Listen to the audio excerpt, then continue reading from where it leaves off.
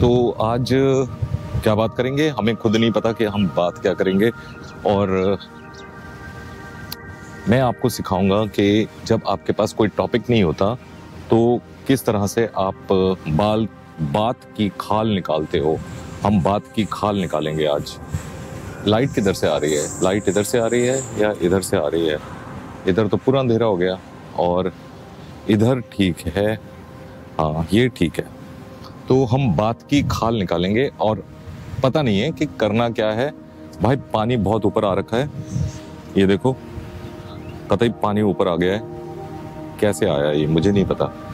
और झंडा is लहराइंग and हम बात की खाल निकालने जा रहे हैं। ये एक्सपोजर ठीक क्यों नहीं आ रहा? एक्सपोजर ठीक आओ भाई। एक्सपोजर ठीक नहीं आ रहा। तो क्या करेंगे? पता नहीं। कैसे करें? मेरे को तो समझ में नहीं आ रहा। रुक जाओ। यहाँ पे बैठ जाते हैं। ये कुर्सी है। इस कुर्सी पे बैठ जाएँ और फिर हम निकालते हैं बात की खाल। Let's take out the khaal of the baat and the baat की खाल इज़ ये कैमरा हमारे पास है। यहाँ पर इस कैमरा को हम यहाँ पकड़ लेते हैं। ये रहा हमारा कैमरा तो आज का दिन गया कुछ ऐसा कि मैं बहुत सोच रहा था कि किस बारे में हम बात करें। लेकिन बात तो हमारे पास कुछ है नहीं कि किस बारे में बात करें। तो हमने सोचा कि हम कैमरा ऑन कर देते हैं और कैमरा ऑन करके देखते हैं कि हम किस तरह से आपसे बातचीत कर सकते हैं। तो ये कैमरा ऑन है अब और हमारे पास कोई बात नहीं है। एक तरीका है मेरे पास, अगर मैं इंटरनेट पे जाऊँ और देखते हैं कि हम इंटरनेट पे जाते हैं और गूगल पे हम सर्च करते हैं टॉक टॉक सर्च करा। Talk to me talk to me अब ये पता नहीं क्या आ गया है तो टॉक टू मी एक कोई सीरियल है, पता नहीं क्या है। अच्छा when a group of friends discover how to conjure spirits using embered चलो, आज हम बात करते हैं भूत की, भूतों की बात करते हैं। आपने कभी भूत देखे हैं? मैंने तो नहीं देखे, लेकिन भूत होता क्या है? इसके बारे में बात करी जा सकती है भाई। कि भूत क्या, ये क्यों लटक, ये तो नीचे की तरफ़ चला गया है। यही तो पंगा है यार, इसमें। अब पता नहीं, इससे पहले वाली जो बातें हैं, वो बातें आई भी हैं या नहीं आई हैं, क्या यार, ये ऐसे ही पकड़ लेता हूँ मैं इसको। तो ऐसे पकड़ के बात करते हैं। तो भूत मैंने तो देखा नहीं है, लेकिन कभी कभी आपको एक, वो होता है,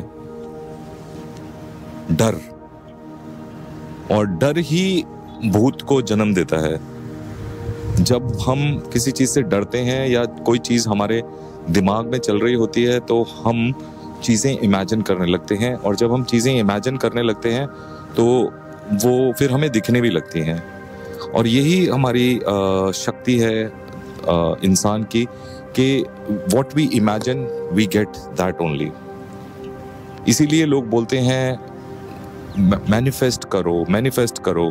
तो जो मैनिफेस्टेशन है, वो भी आप एक ही चीज़ को जब बार बार सोच रहे होते हो तो वो फिर सच होने लगती है। हमारा दिमाग हमारा माइंड उसको मानने लगता है और फिर वो हमारे साथ होने लगती है। तो ये पावर है आ, हमारे दिमाग की हमारी मैनिफेस्टेशन या हमारी सोच की। और यही सोच है वो जो जन्म देती है अलग अलग चीज़ों को, आप उसको भूत भी बोल सकते हो। जब हम डर के बारे में सोच रहे होते हैं, या हमारी ज़िंदगी में कुछ ऐसा चल रहा होता है, जिससे हमें बहुत डर लग रहा होता है, या कुछ ऐसी चीज़ें होती हैं जिसको हम एंटिसिपेट कर रहे होते हैं।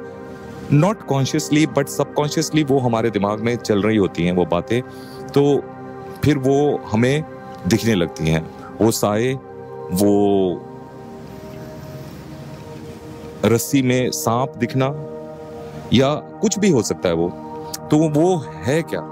रस्सी तो रस्सी है। रस्सी का कोई आ, उसमें कोई गलती नहीं है रस्सी की कि भाई वो तुम्हें सांप दिख रही है। लेकिन तुम्हारे दिमाग ने सोच लिया कि वो सांप है तो वो फिर तुम्हें सांप जैसी दिखने लगती है। और एक कपड़ा हिल रहा है रात को उसकी शेडो आ रही है। आपको लगता है कि वो कोई बंदा है वहाँ पर और वो कोई भूत है। वो कपड़ा तो कपड़ा है। लेकिन हमारा दिमाग ये मान लेता है कि वो भाई भूत है या वो कोई चीज़ है वो जो हमारे दिमाग में जो डर बैठा हुआ है वो रिफ्लेक्ट करने लगता है उन चीज़ों के ऊपर।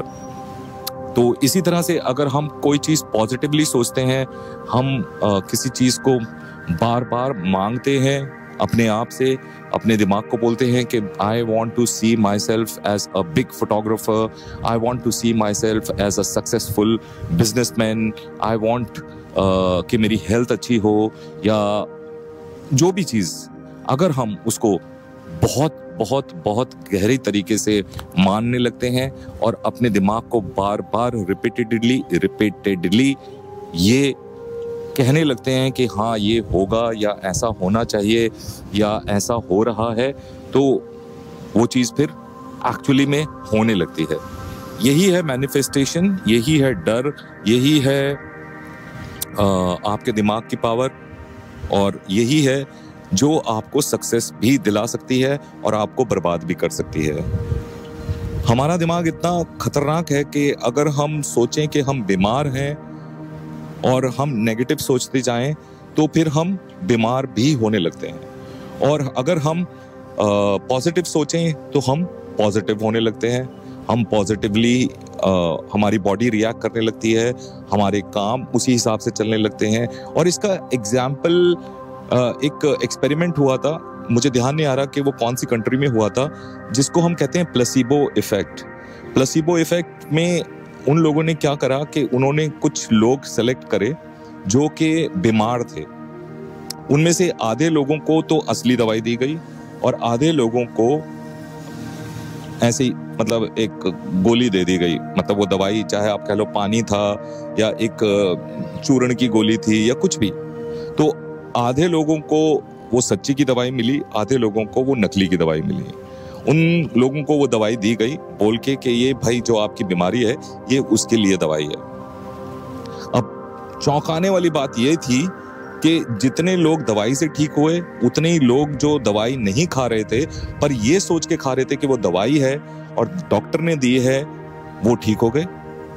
तो ये प्लेसिबो इफ़ेक्ट बहुत काम करता है कि आपका विश्वास अगर आप एक बड़े डॉक्टर के पास जाते हो और उस डॉक्टर के ऊपर आपको विश्वास है, क्योंकि आपके दोस्त ने बोला था कि यार ये बहुत अच्छा डॉक्टर है तो वो आपको ना भाई ऐसे चूरन की गोली भी दे दे या एक शुगर की गोली भी दे दे तो भी आप ठीक हो जाओगे।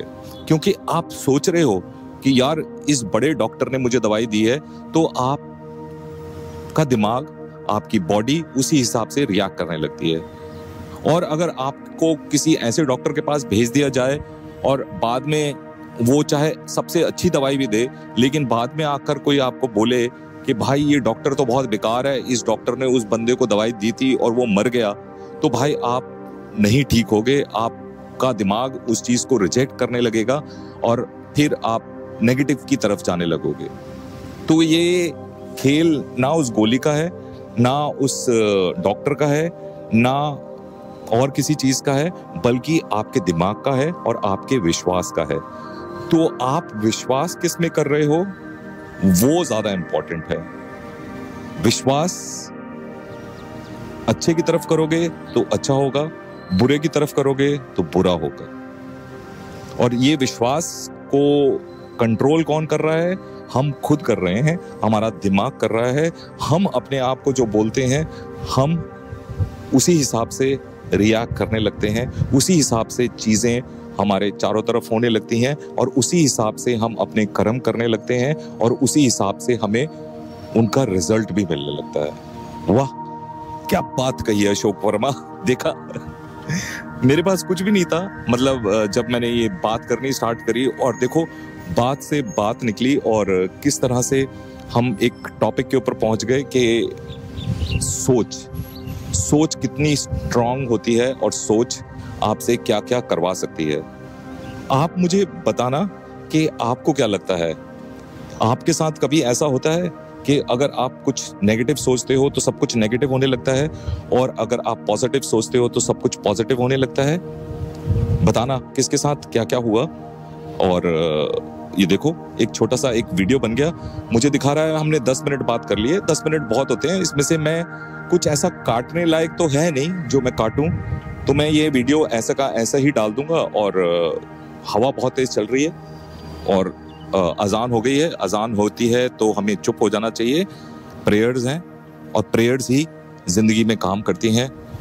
आप अपने लिए करें प्रेयर्स दूसरों के लिए करें प्रेयर्स बहुत बहुत पावर है प्रेयर्स में दुआ में, बहुत पावर है और बदुआ में भी उतनी ही पावर है द पावर ऑफ़ वर्ड्स मिलते हैं फिर हम अगले वीडियो में।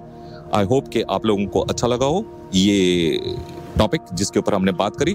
Take care bye bye ciao हमारा सामान यहाँ रखा हुआ है और अब हम यहाँ से निकलते हैं। Bye bye